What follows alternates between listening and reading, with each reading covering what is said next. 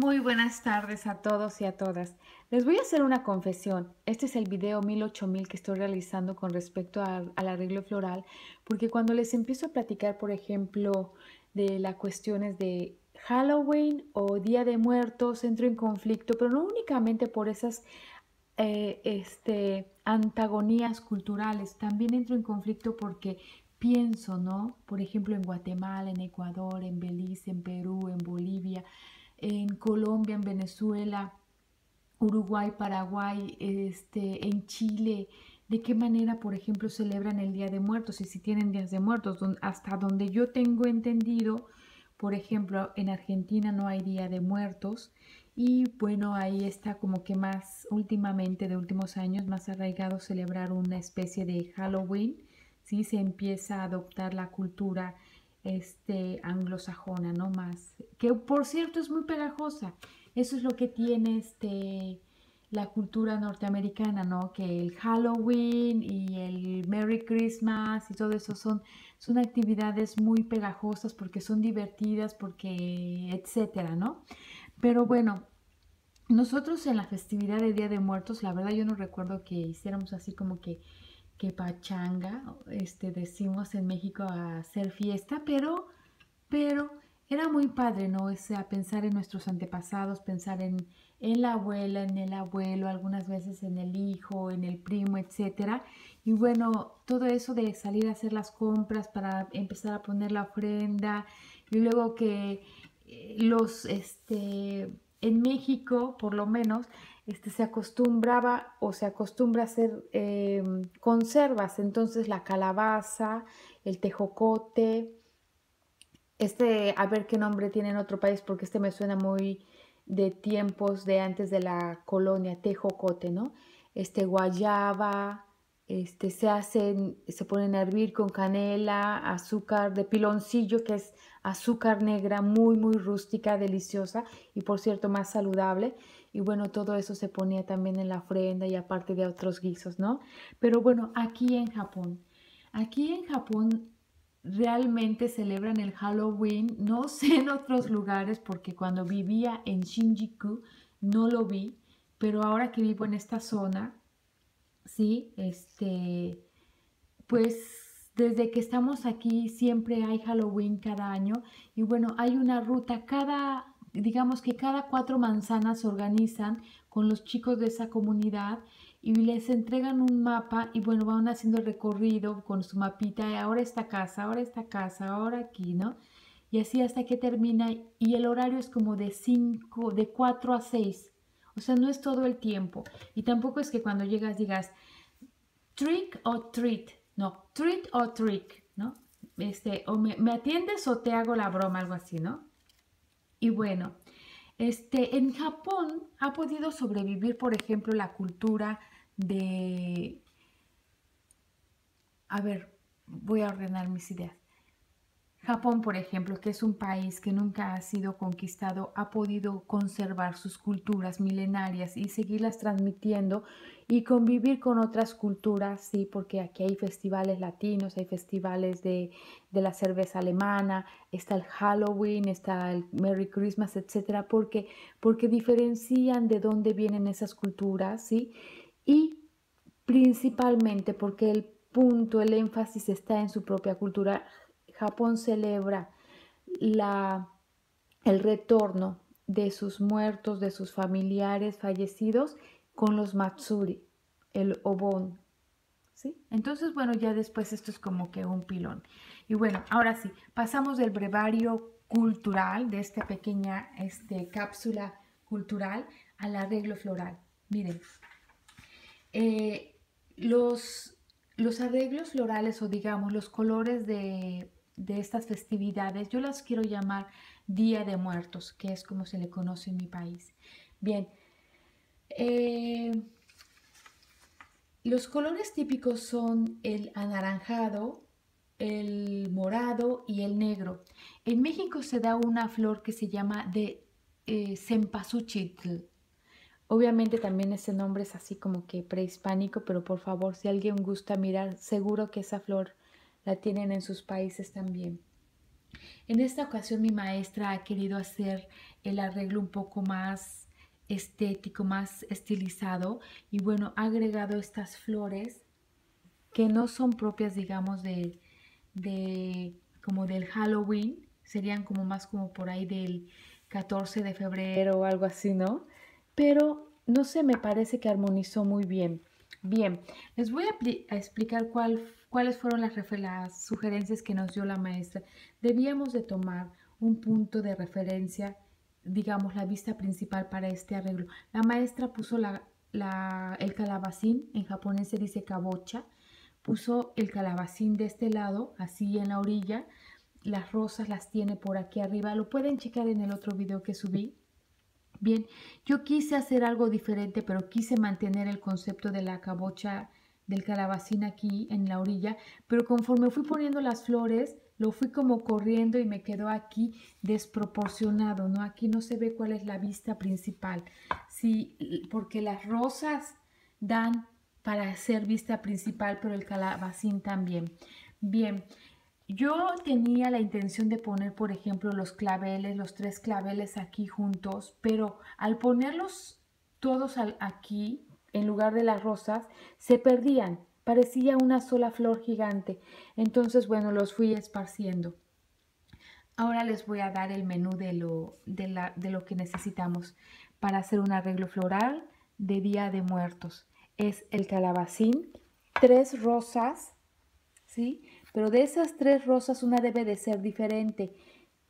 Luego claveles de color morado, dos rosas de este color pálido, muy pálido, que inclusive se ve, si no sé si logren apreciar aquí, un amarillo limón precioso. Esta es la hoja de flor de muertos. A ver, voy a sacar una de algún lugar donde... Vamos a sacar esta de aquí. Se las voy a mostrar.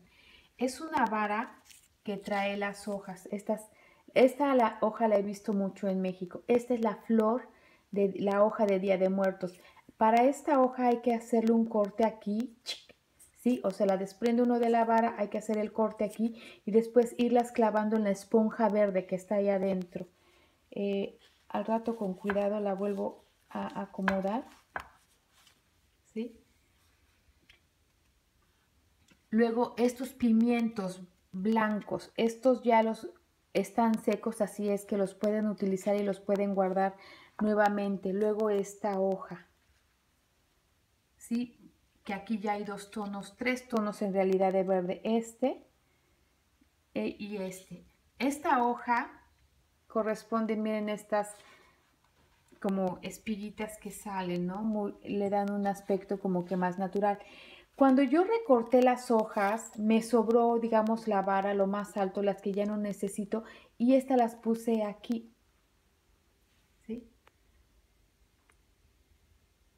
Aquí hay otras, este clavel, les voy a platicar qué fue lo que pasó. Miren, este clavel no está clavado porque al momento de colocarlo, ¿sí?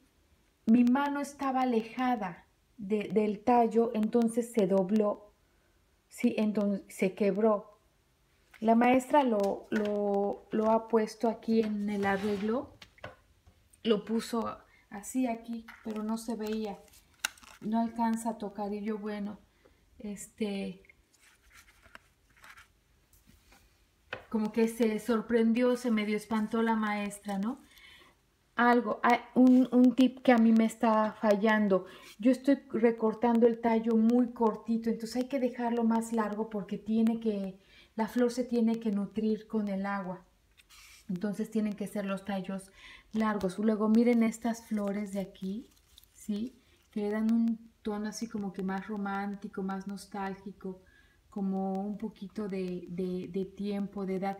Y esta flor que es endémica de Japón que se llama Aji Sao. Uh, ¿cómo, dije, ¿Cómo dije en el otro video? Aji Sao. Aquí hice un...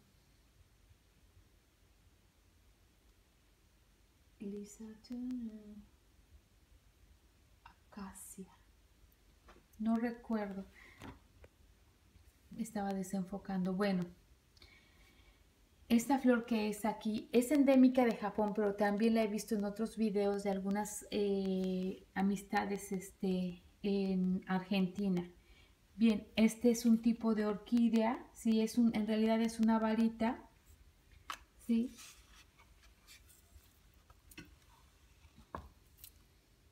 Este era una, una sola varita, ¿sí? Y aquí está. Les voy a mostrar cómo era una varita y la fuimos recortando. Hay que hacer el corte de aquí, ¿sí? Y mirar cuál es la, la parte más linda. Si la ponemos así, esta es la parte más linda. Si la ponemos así, ya no se aprecia tanto, ¿no? Entonces, esta flor tiene la intención en mi arreglo de estar colocada de esta manera. Pero de hecho, ahora que lo estoy pensando, no, a ver, ustedes díganme, es que ahora que la veo por, la estoy viendo a través del celular, estoy viendo como diferente. ¿Sí? Esta la tengo que clavar.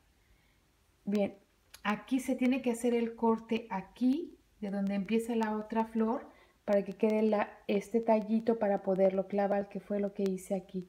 ¿Sí? Entonces, por ejemplo, esta correspondería ya a otro tallito si hubiera hecho el corte por ahí.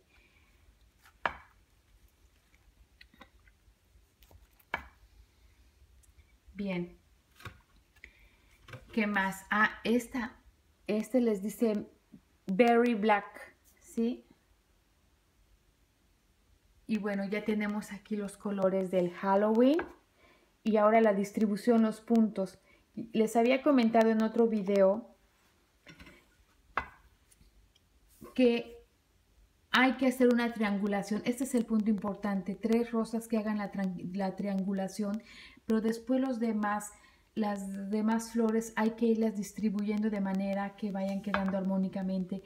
Tienen que cortar por favor los tallos largos. A mí me está fallando porque quedan los tallos muy pequeños y al quedar los tallos muy pequeños me está pasando esto. Vean cómo se ven las flores. No debe de haber espacios, no debe de haber huecos, pero tampoco deben de quedar encimadas.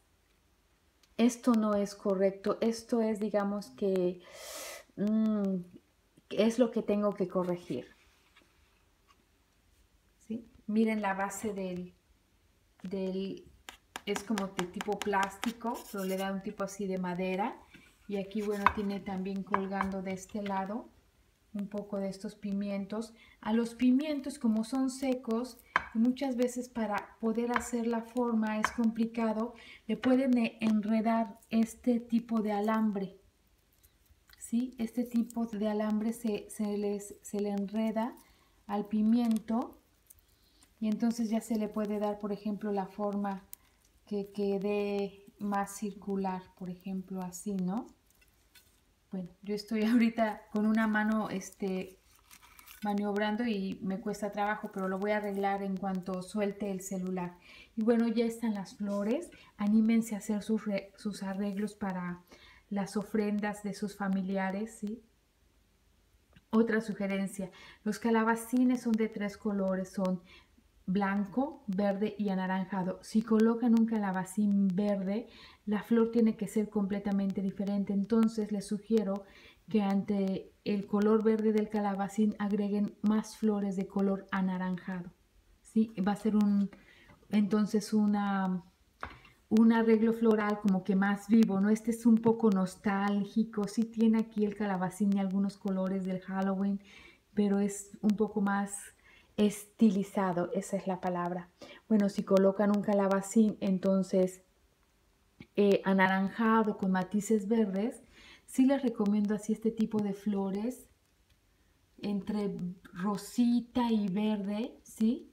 Para hacer el contraste y bueno, las hojas, las hojas entonces en el tono queden un poco así para que no se pierda su, su calabacín en el arreglo floral.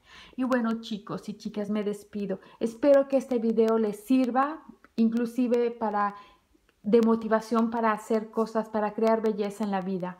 Hasta pronto, chao.